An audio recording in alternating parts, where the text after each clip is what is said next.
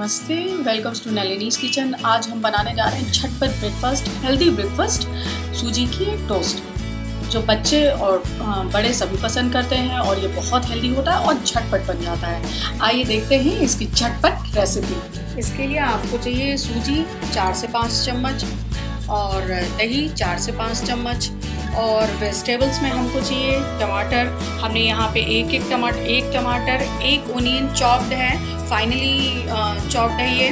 और ये कैप्सिकम है, जिसको मैंने बारीक बारीक यूँ काट लिया है। इसके अलावा हमको जो मसाले चाहिए, उनमें हैं ये रेड चिली फ्लेक्स हैं ये। ये हमारा गार्लिक पाउडर और चाट मसाला है। हाफ़ ऑफ़ टी स्पून मैंने ले लिया है इसमें। और ये नमक है, नमक स्वाद अनुसार डालेंगे। और इसका सबसे ज़रूरी जो इसमें फ्लेवर देने वाला जो चीज़ है, वो है ऑल पर्पज़ सीजनिंग हमने यहाँ पे लिया है, आप चाहे तो सिर्फ़ ओरिगेनो ले सकते हैं, या जो भी आपका फेवरेट सीजनिंग हो, वो आप ले सकते हैं। मैंने यहाँ ऑल पर्पज़ लिया हुआ है। अब हम इन सभी सामग्री को एक बाउल में मिक्स कर लेंगे। सबसे पहले हम सूजी लेंगे। दही लेंगे। जितनी ज़रूरत होगी, हम धीरे धीरे इसमें डालेंगे। और इसके बाद हम इसमें डालेंगे, ये कैप्सिकम डालेंगे इसमें। इसमें फिर ओनियन डालेंगे। फिर हम टोमेटोज डालेंगे। उसके बाद सारे मसाले डाल देंगे। आप रेड चिली पूरी तरीके से ऑप्शनल है। अगर आप ये बच्चों को दे रहे हैं तो आप अपने मर्ज़ी के हिसाब से डाल सकते हैं।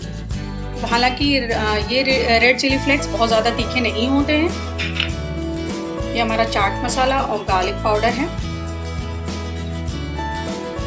सॉल्ट टू टेस्ट आप जितना सॉल्ट खाते हो अपने टेस्ट के अकॉर्डिंग थोड़ा सा सॉल्ट डाल लीजिए।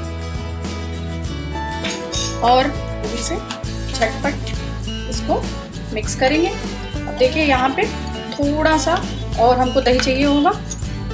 तो हम वन स्पून और कर्ड डालेंगे। हमने यहाँ पे ब्राउन ब्रेड लिया हुआ है। आप चाहें तो वाइट स्लाइसेस भी ले सकते हैं।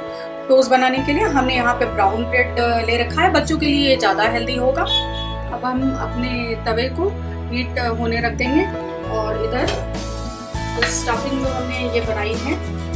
इसके ऊपर लगा देंगे। हल्का सा फैलाएँगे चारों तरफ़।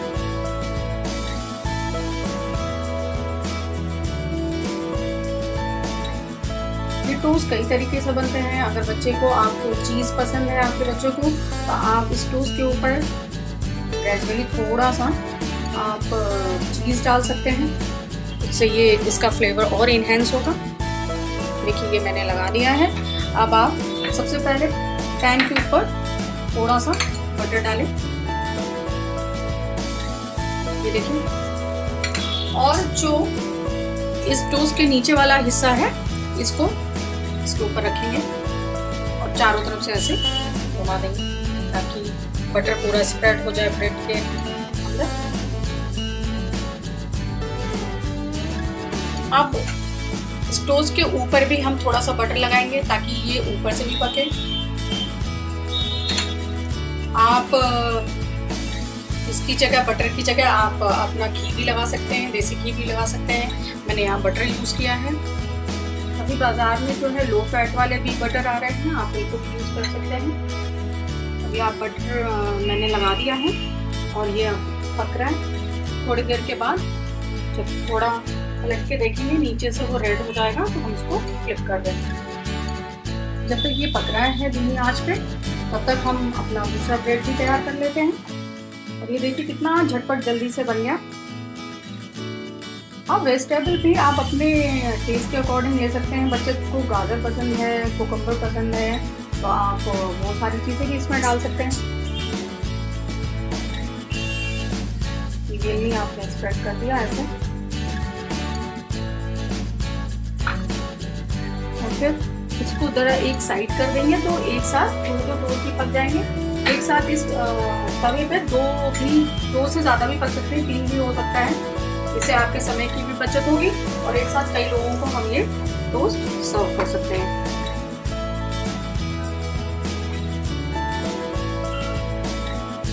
सिंपली इस पर भी आप थोड़ा थोड़ा ऐसे करके बटर डाल दीजिए।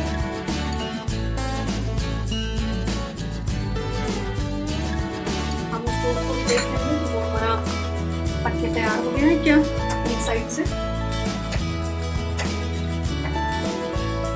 ये देखिए कितना अच्छा कलर आया है। इसको हम फ्लिप कर देंगे।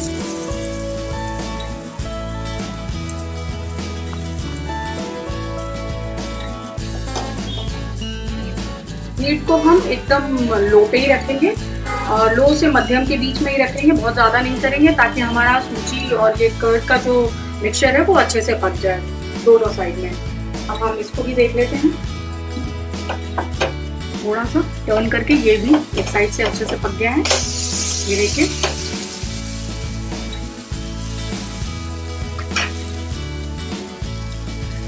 हल्का सा तो लगा सकते हैं मध्यम आँच पे पकने देंगे। अपने इस को आप थोड़ा हर तरीके से थोड़ा ऐसे कर दीजिए, मक्खन जो तवे पे है वो अच्छे तरीके से थोड़ा सा दबा दीजिए। इससे अंदर तक जो है ये पक जाएगा। दोनों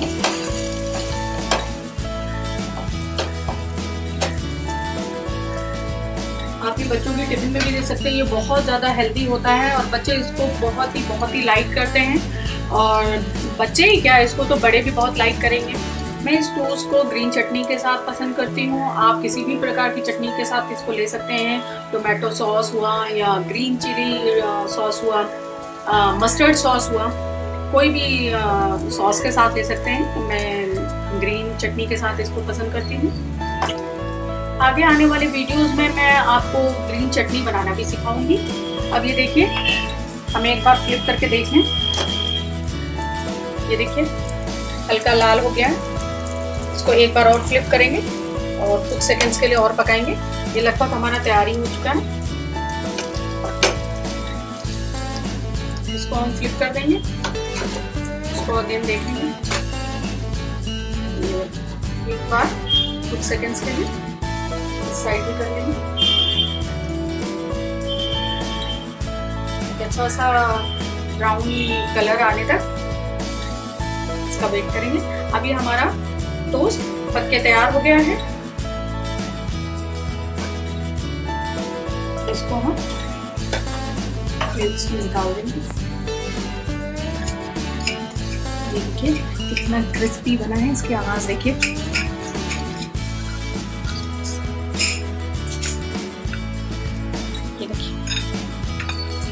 क्रिस्पी बना है, बहुत ही देखने में मस्त लग रहा है। इसको कट कर देंगे बीच से स्लाइसेस देखिए, इसकी आवाज़ सुनिए टू क्रिस्पी आइए। अब इसको हम अपने सर्विंग प्लेट में लगाते हैं।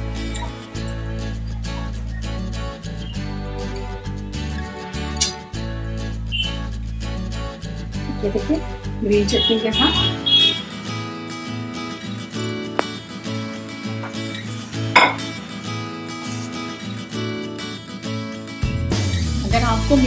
पसंद आया हो तो इसे शेयर करिए लाइक कीजिए और प्लीज़ सब्सक्राइब करना ना भूलिए। नीचे कमेंट बॉक्स में अपने कमेंट्स लिखिए। आपके सुझावों का मुझे बेसब्री से इंतज़ार रहेगा। और थैंक यू नमस्ते।